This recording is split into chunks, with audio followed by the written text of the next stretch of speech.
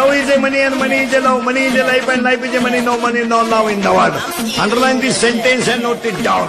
या जगातली माणसं फक्त पैशावर प्रेम करतात